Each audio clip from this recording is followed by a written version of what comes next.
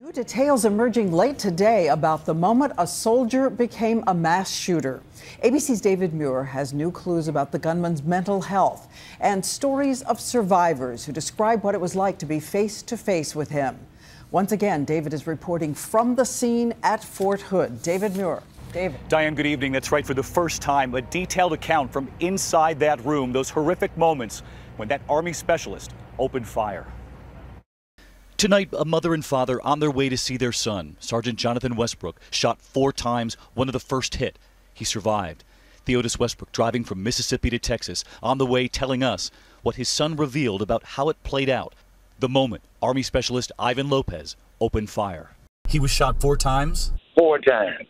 What did your son tell you about what he witnessed right before the shooting? The soldier had come into his office and uh, he'd had some words with my son's supervisor, and he was asking for a, a form to execute a leave, some leave time, and uh, they suggested that he come back the next day, and so he left just as they had suggested that he leave, but only to return with a weapon, a 45 caliber semi-automatic pistol, handgun and uh, shot one person right in my son's presence, and then turned the gun on my son, shooting him four times, twice in the arm and twice in the chest. And then he commenced firing randomly, and my son and them took cover under the desk and tables. He says Lopez then left that office, went out onto the base, and kept firing. You describe your son getting shot twice in the chest and then two more times in the arm. Your son is lucky tonight to be alive. My son is a blessed human being. He is blessed. He was not shot from a very long distance. He was shot, you know, pretty close up. I hear your son's doing okay. Yeah, he's doing uh, much, much better. He's doing really good. He told me he will never forget the seven hours without hearing from his son. It was midnight before they heard his voice. When you heard about these shootings and you were able to get your son on the phone, what did you say to him? That I love you. I am so happy that you're all right. And tonight, for the first time, we're now hearing from his son. The next thing going through my head was my family, my wife, my children, my mom, my dad. You know, make sure I, I, I get safe so I can stay alive for them. And that's what I did.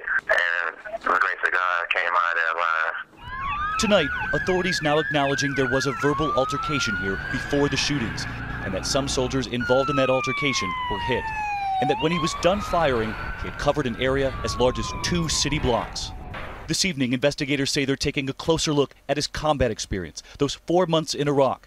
So far, they say no specific traumatic event, no contact with the enemy. And late today, they said they don't believe his mental health played a role in the shootings even though he had been given prescription drugs and had seen a psychiatrist here. And tonight, for the first time, Lopez's father back in Puerto Rico issuing a statement saying he offers prayers to the victims and that his son could not have been in a sane state when the shooting occurred. And in the complex where Lopez lived with his wife and his three year old daughter, authorities have now searched the apartment and have talked to his wife. And this evening, we're hearing from the families of the soldiers who died. The mother of Sergeant Timothy Owens says she called her son the moment she heard about the shootings. He didn't answer the phone, so I left a message on his phone. Son, call me so I know if you're okay or not.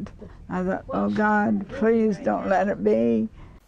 And the fiance of Sergeant First Class Danny Ferguson, who has said he was killed while trying to save others, trying to hold a door shut.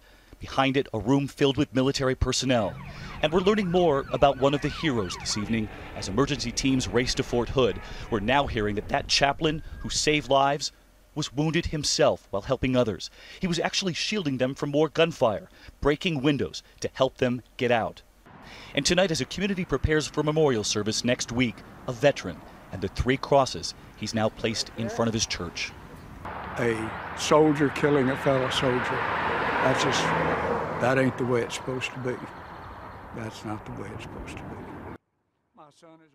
That memorial service planned for next week. And that wounded chaplain, he's expected to be okay, Diane. And one more note tonight about two other heroes. They talked late today about two wounded soldiers who bravely reached for their cell phones to call 911, even though that specialist was still firing. Yeah, and I'm so struck, David, by what you said about the large area in which the gunman was firing. Thank you for leading us off again tonight.